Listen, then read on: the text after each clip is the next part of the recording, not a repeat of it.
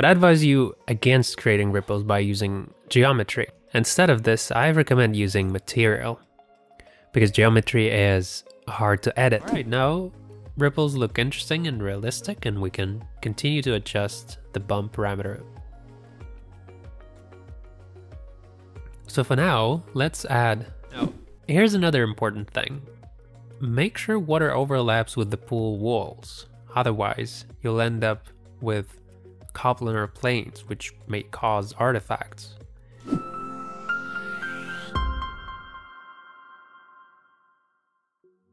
Hi everyone, today we're gonna create pool material. It looks like many students struggle with creating pool material, although it's not hard at all as it happens. So I decided to make a video on this topic, and first of all, let's make a brief introduction. So if you Google pool images, what you'll see is that not all pools have ripples and caustics.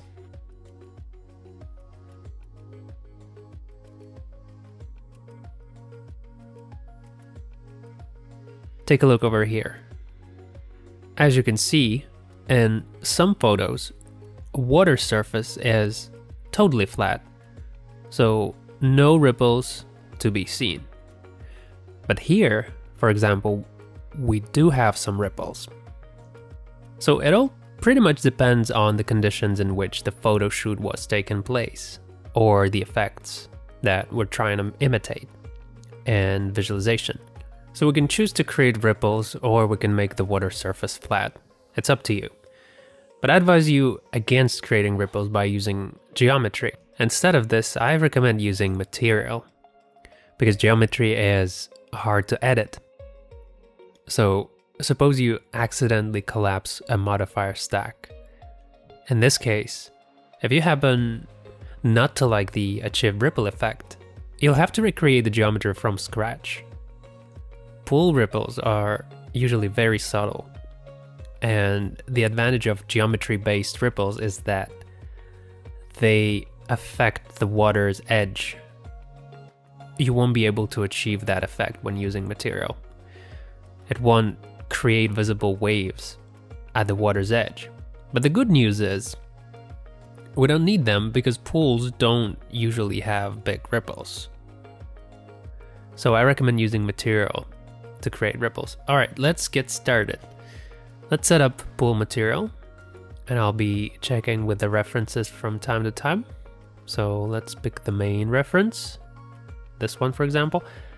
And I have a scene here uh, from our training course instead of water, we have clay material here. In the original project, the bottom of the pool was covered with dark blue tiles. But the problem is that dark blue tiles will prevent us from seeing a watercolor and a caustic effect as they are. So that's why I painted the bottom of the pool white, so that we can properly see the water. So I have material editor open on the second screen. We have gray Corona MTL assigned to water. No extra settings yet. Alright, so let's set it up. So I have interactive render running. Alright, so let's start setting up water material. First come basic settings. We set diffuse to zero our water is basically colorless. So next we set reflection to 1 and Fresnel IOR to 1.3. As for reflection color, we can either increase or decrease it a little. It doesn't bother me much, whether or not my IOR is perfectly correct from a physical standpoint.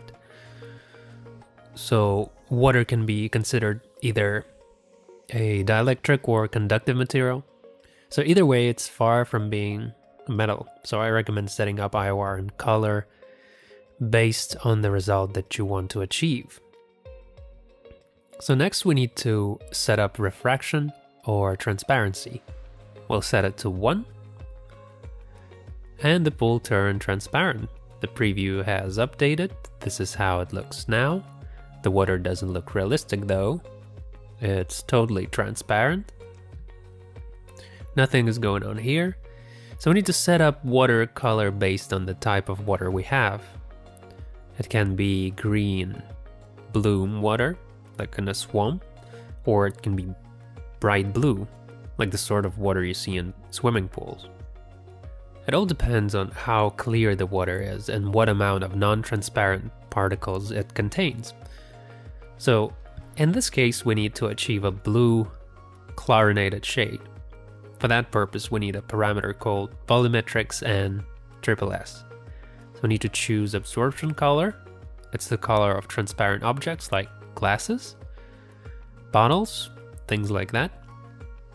And water is no exception. So we'll pick a shade of blue and let's go for a, a darker shade.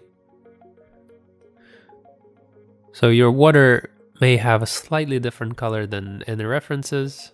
Don't let that confuse you because watercolor is also affected by pool tiles. Plus, water also has its shade. So, to achieve a pure watercolor, your pool should have a white bottom. This light blue shade looks good, I think. So, our color is very similar to it. Alright, so let's just hit OK. But as you can see, nothing changes. I'll region select the pool to speed up the render. So for the absorption to work correctly, we need to set up the distance parameter. Set it roughly to 200 centimeters, let's say. And let's see how it's turning out. Good, our water has turned light blue. And I think that's enough. Now we can proceed to creating ripples. Once again, ripples can be different, or they be maybe no ripples at all. Anyway, be careful with this effect. To create realistic looking ripples, we need to link a map to the bump slot. And let's create a more complex material.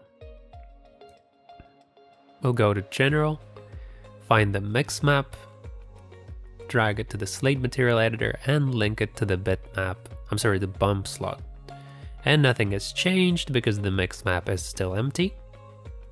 So next we take the noise map and link it to slot 1. Now let's see how our ripples look like now.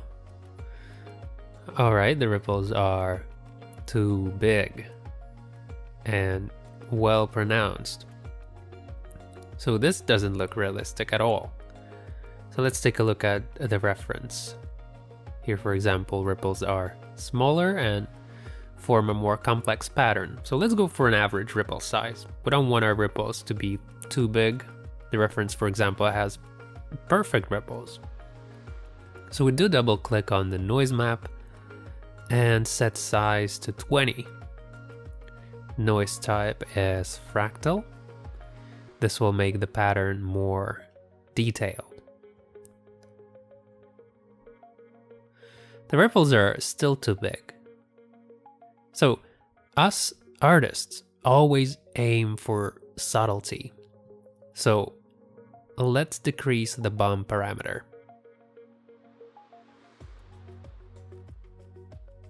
Do double click on our main material and reduce bump by let's say 10 times to 0.1.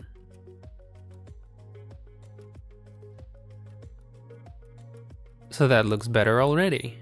Ripples are moderate, but still kind of aggressive. So let's decrease it further to 0.05.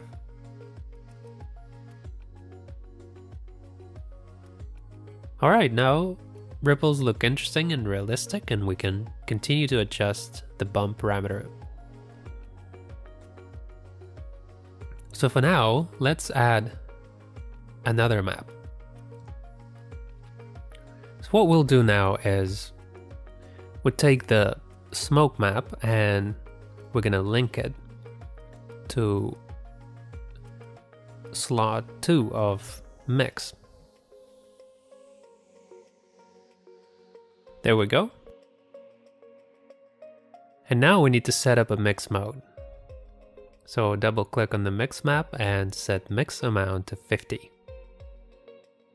The two maps are mixed at 50-50 ratio. This is how the bump map looks now. And next we set the size of the smoke map. And let's make it 50 and move from there. Trying to find the right value. So that looks pretty good, I think. This is the effect I was aiming for. Alright, so here is a, a common mistake I would like to warn you against. Your water object must be solid. Now I noticed that students tend to make a mistake when they use a plane to create water and place it on top of the pool. That's wrong. Because weather bends light and Corona won't be able to correctly process that refraction. So, water should be a solid object, a box. Here, the water object is made of plenty of polygons because the pool has rounded edges and the water goes over the side of the pool. When creating water in your own project, go ahead and use a simple box. Now, here's another important thing. Make sure water overlaps with the pool walls, otherwise you'll end up with coplanar planes which may cause artifacts. It's when two polygons lie on the same plane, or they may be there may be another situation when water doesn't reach the pool's walls, leaving a kind of layer of air in between, and that's also wrong. Water needs to touch the pool walls. Only then it will look realistic. Alright, so now let's go ahead and create caustics. To set up caustics for a Corona material, we first need to enable it. To do that, we'll go to Material Settings and check the Caustics box. Keep in mind that Caustics significantly slows down the render. Now With that said, you should only enable caustics for objects that you know for sure to produce this effect. Crystal glasses and tableware, for example, or in this case, a swimming pool. Okay, so we checked the caustics box, but nothing changed. The swimming pool doesn't look very good because we also need to enable caustics in render settings. We'll go to the performance tab and enable fast caustics solver. Let's take a look at the render. Caustics is being rendered separately after lighting. We can see a nice caustic effect. There are spots on the bottom, light refractions, the size of ripples defines the pattern on the bottom of the pool. The render is progressing very slowly. It might be a good idea to render the pool separately, actually. So you can consider first rendering the final scene in high quality and then rendering the pool separately. So this will save you some time there's something else you should keep in mind, by the way. As you can see, here we have a render element called C shading caustics. Here it is. We add it to the list and it appears here in this drop down menu. We can apply this render element in Photoshop in screen or lighting mode depending on what effect you want to achieve. We can apply clay material to all objects, render a caustic separately as a fake, and then add that caustic effect in Photoshop during post-production. Alright, so that's it for today. Thank you for watching, and we'll see you in the next video.